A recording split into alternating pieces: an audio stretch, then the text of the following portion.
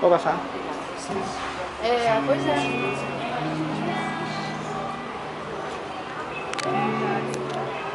Valeu.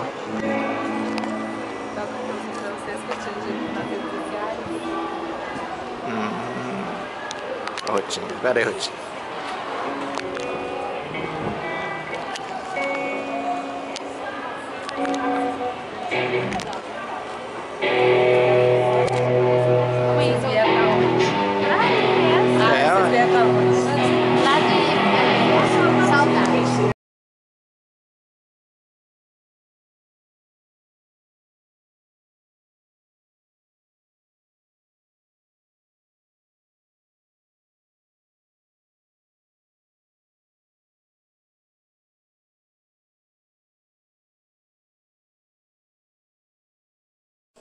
Seja completamente inundada pela graça e pela bondade do Espírito Santo de Deus, amém? Eu creio que você está nesse lugar e que você não vai sair da mesma forma que você entrou. Quantos creem, digam amém?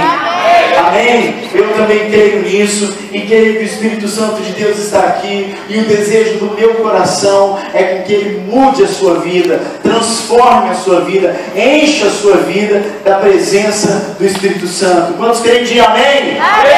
Aleluia. Então diga assim para o seu irmão, meu irmão, nessa noite, o Espírito Santo, ele vai inundar vai inundar a sua vida, em nome de Jesus Cristo. Aleluia, aleluia, glória a Jesus. Louvado seja o teu nome. Você está no culto, manifeste-se que acontece toda sexta-feira aqui na capela da Lagoinha 7.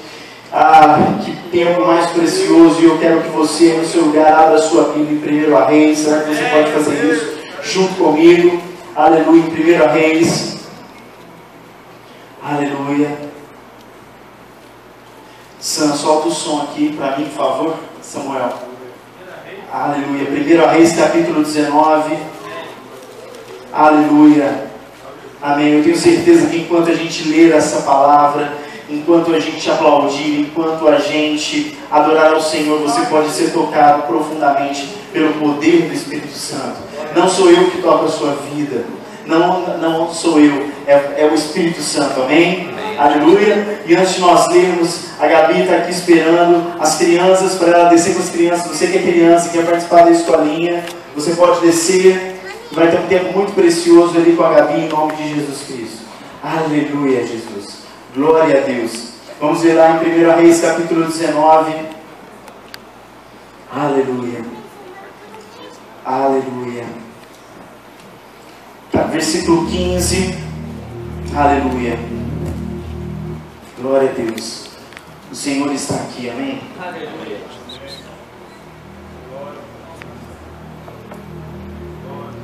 Aleluia. 1 Reis, capítulo 19, versículo 15 em diante, diz assim: Então o Senhor disse a ele: Volte pela estrada do deserto para Damasco, e quando chegar lá, derrame óleo sobre a cabeça de Azael, para que ele seja rei da Síria. Depois derrame óleo sobre a cabeça de Je- Jeú, Gel, filho de Ninsi, para que ele seja rei de Israel, e derrame óleo sobre a cabeça de Eliseu, filho de Safate, de Abel, Meolá, para que ele tome o seu lugar como meu profeta. Qualquer um que escapar da espada de Azael será morto por Jehu, e os que esca- escaparem de Jeú serem mortos por Eliseu. E fique sabendo que conservei sete mil homens em Israel que nunca se curvaram diante de Baal, nem beijaram esse Deus. Então Elias saiu de lá e encontrou Eliseu, filho de Safate. Ele estava arando um campo com doze parelhas de bois. Elias o alcançou e atirou sua capa sobre o ombro de Eliseu, versículo 20. Eliseu deixou os seus bois ali e correu atrás de Elias, dizendo: Primeiro me deixa beijar meu pai e despedir-me da minha mãe, e depois irei com você. Elias respondeu: Vá e depois volte, mas lembre-se do que fiz a você. Então Eliseu voltou aos seus bois, matou os dois bois que eram seus, Usou a madeira do arado e do jugo para fazer fogo e assar a carne. Distribuiu a carne aos outros trabalhadores e ao povo que estava lá. E todos comeram. Depois se aprontou e foi com Elias como ajudante dele. Feche os seus olhos no seu lugar. Pai, em nome de Jesus. Senhor, é o teu Espírito Santo quem faz este lugar, Deus. Nós não temos nada para oferecer ao Senhor. Pai, eu não tenho nada para oferecer para este povo que eu entendo que está aqui faminto, que eu entendo que está aqui, ó Deus, buscando uma comida, um maná do céu. Senhor, aquilo que só o Senhor pode fazer. Pai, muitas vezes nós procuramos a igreja porque nós estamos desesperados, quando na verdade o nosso espírito já está batido, já está faminto, já está definhando e reconhece que o verdadeiro alimento é o Senhor, Pai, acima de todo e qualquer outro amor, acima de qualquer outro programa, e por isso nós estamos aqui, Senhor, para sermos alimentados. Por isso, nessa hora, Espírito Santo, vai derramando sobre vidas nessa noite, vai enchendo corações nessa noite, vai enchendo espíritos nessa noite, em nome de Jesus, Pai, vai revigorando, trazendo graça e poder, em nome de Jesus, Pai, Pai, vem com fogo, vem com fogo, com a sua manifestação, porque é isso que precisamos, que enquanto pregamos aqui, Deus, ministramos a palavra, pessoas deste lugar e aqueles que nos assistem, Pai,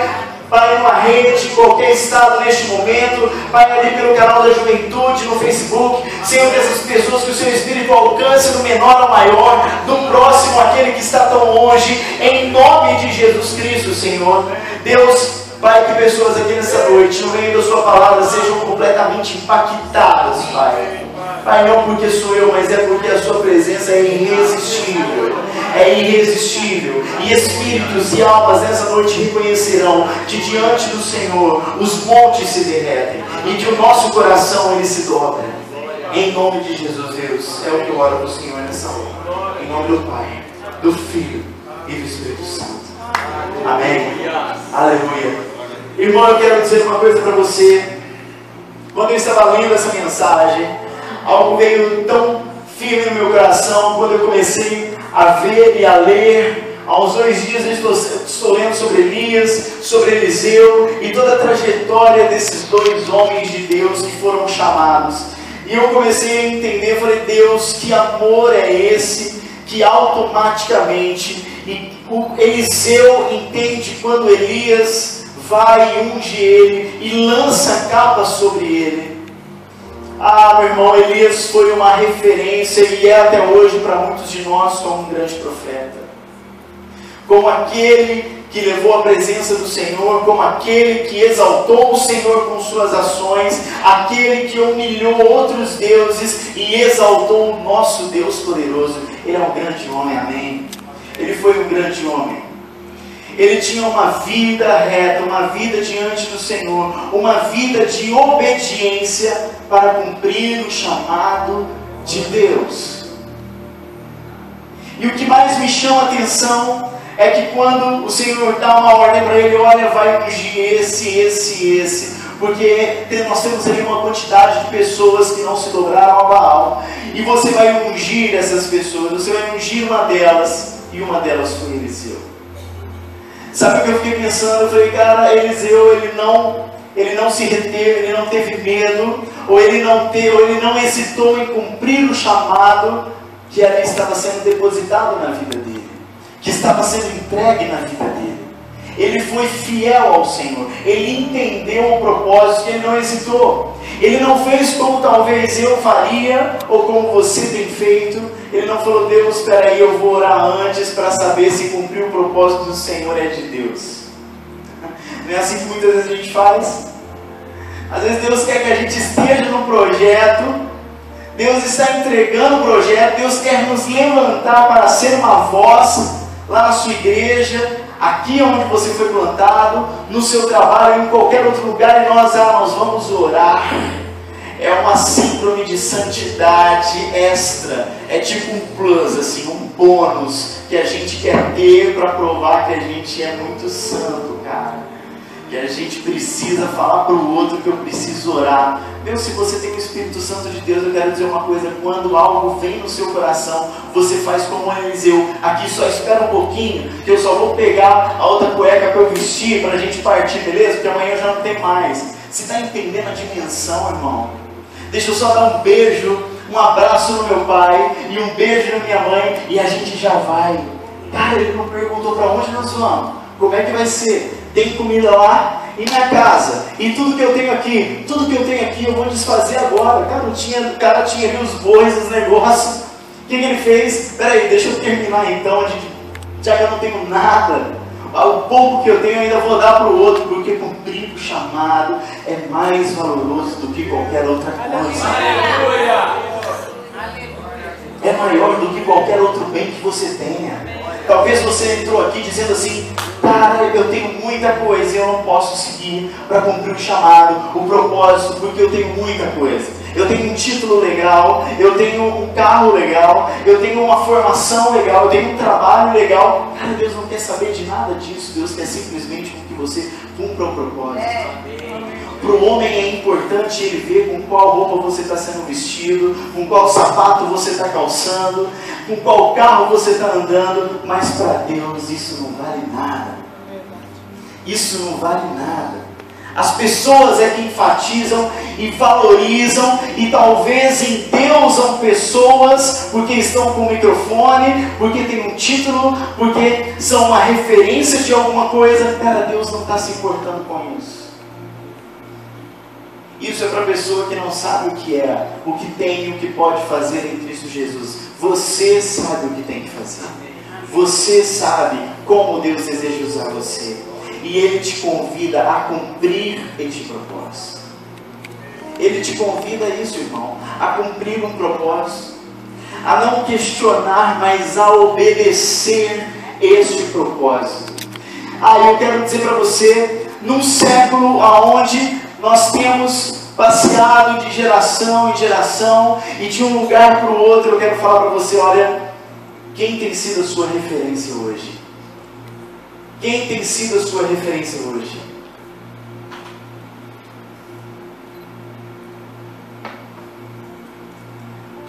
As pessoas têm tido uma referência e têm acreditado que referência é tudo aquilo que deu certo, nem tudo aquilo que dá certo é bênção de Deus.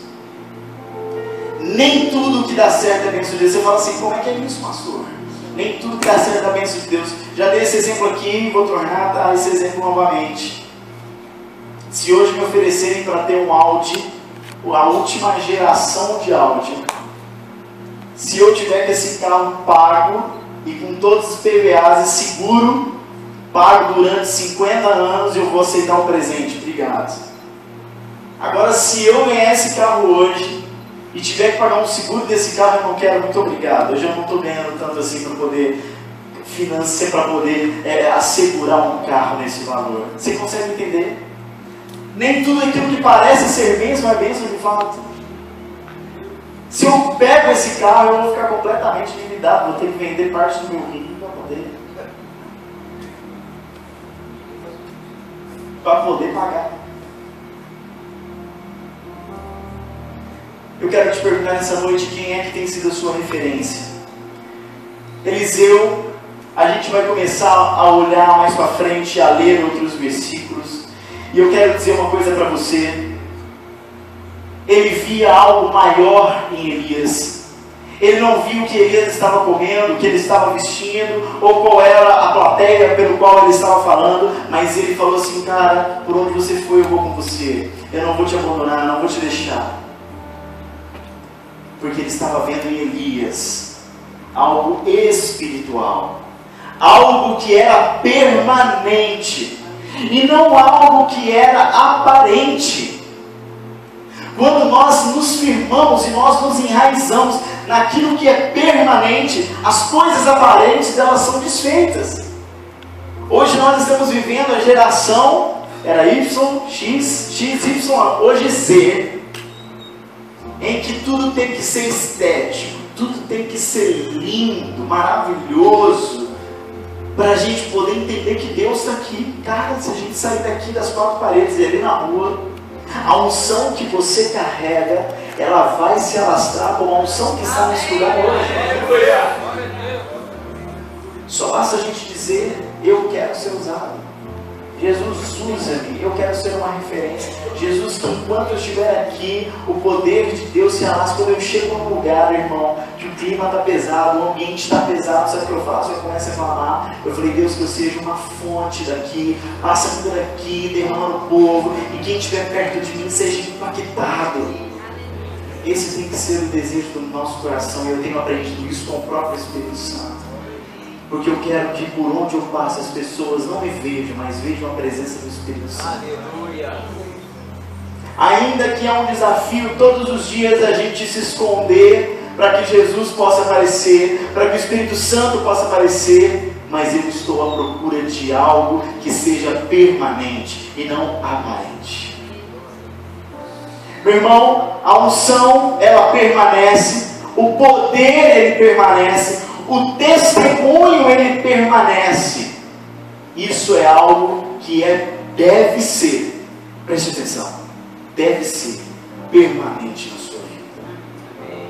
Ele deve ser algo permanente. Ah, mas tem as coisas aparentes que está sempre se reinventando para que as pessoas sejam presas emocionalmente, espiritualmente, para que elas sejam dependentes de uma luz, de um microfone, de um violão, de qualquer outra coisa. A presença de Jesus, se ela descer aqui, irmão, você não vai ver nem cadeira, porque as cadeiras vão começar a voar, o vai cair. Deus não precisa de nada disso para que ele desça. Basta só você falar assim, Deus, eu quero te ver. Desce aqui sobre mim, desce aqui sobre mim. E você vai ver esse lugar inundando. A presença de Deus está aqui, a presença do Espírito Santo está aqui. E ela não está só porque nós entoamos um louvor bonito, com uma melodia surreal, bem trabalhada, não. É porque você está aqui. É porque você está aqui, é porque você está aqui. É porque você lá no fundo está aqui. É porque nós estamos aqui clamando, Deus desce sobre nós, Deus desce sobre nós, Deus vem neste lugar. É isso que eu faço eu venho à igreja.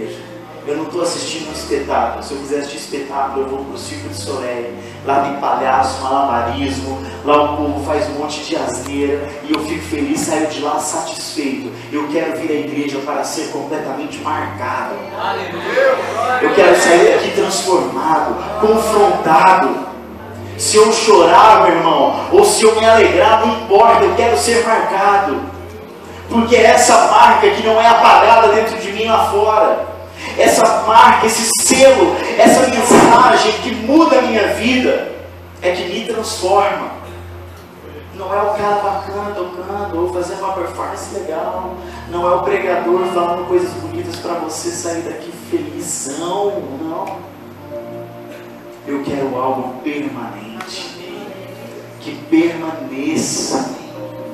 Não é os atrativos, é aquilo que te marca. É aquilo que vai te trazer aqui de novo. Você vai falar assim, cara, eu preciso naquele culto. Tá bom que o pregador dá só sapatada na gente, mas eu vou lá porque eu nem sei porquê, mas eu tô indo lá. Você vem aqui porque algo maior. O Senhor tem dado a você, e tem tocado e tem transformado o seu coração coisas que eu não posso te dar. Eu não quero que você fique satisfeito comigo e me coloque em mim Deus e fale, pai, o pastor Pedro, isso é surreal, ele é magnífico. Eu não quero nada disso, irmão. Eu quero que você veja Jesus, só isso. Aleluia. E se eu tiver que te espremer para que você encontre o caminho, eu vou fazer, porque a porta é estreita, você só vai entrar espremer. Gente muito folgada, não é? Gente muito frouxa não está entrando na porta.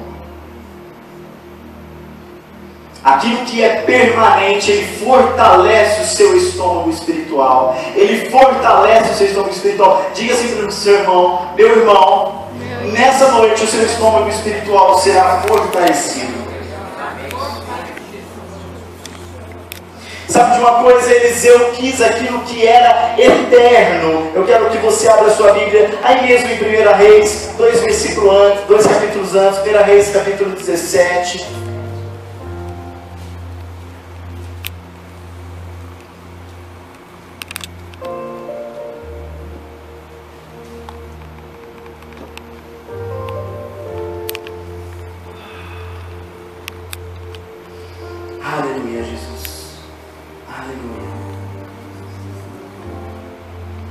Ver lá 1 Reis, capítulo 17, versículo 1 em diante, diz: Então Elias, profeta da cidade de Tesbe, em Gileade, disse ao rei Acabe: Tão certo como vive o Senhor, o Deus de Israel, o Deus a quem adoro e sirvo, não haverá orvalho nem chuva por diversos anos, quando eu não ordenar que chova.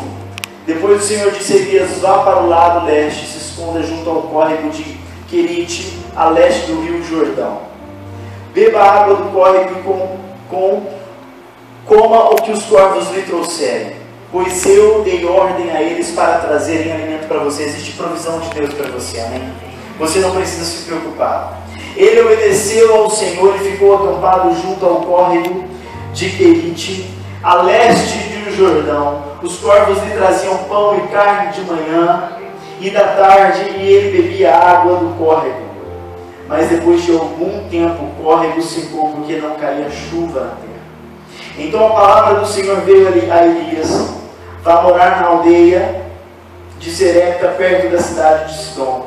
Ali mora uma viúva que dará alimento a você, e dei a ela as minhas instruções. E Elias foi para Serepta. Quando chegou às portas da cidade, viu uma viúva apanhando gravetos, e ela chamou e disse: Peço que me traga um copo de água. Enquanto ele ia buscar a água, ela chamou, ele chamou a mulher e disse: Traga-me também um pedaço de pão. Ela, porém, respondeu: Tão certo como vive o Senhor, o seu Deus, não tenho nenhum pedaço de pão em casa. Tenho somente um punhado de farinha que sobrou num jarro e um pouco de azeite numa botija. Eu estava recolhendo alguns gravetos para levar para casa e preparar uma última refeição. E depois de comermos, meu filho e eu vamos esperar a morte. Mas ele disse a ela: Não tenha medo, vá para casa e faça o que eu disse. Mas primeiro faça um pequeno pão para mim e traga para mim. E depois faça algo para você e seu filho. Porque assim diz o Senhor, o Deus de Israel: a farinha no jarro não se acabará, e o azeite na botija não faltará, até o dia em que o Senhor enviar chuva sobre a terra. Você leva as boas novas para aqueles que precisam ouvir, amém? Amém. Você é aquele que vai declarar uma palavra, que vai direcionar. Ah, meu irmão, e sabe de uma coisa? Eliseu, Eliseu, aqueles fazendo tudo isso, e depois mais adiante a gente vê Eliseu se chegando. E a gente vê que Eliseu ele quis simplesmente uma porção dobrada. Quando ele, ele chegou próximo de Elias, ele perguntou, mas o que, que você quer? Ele falou que era a porção dobrada.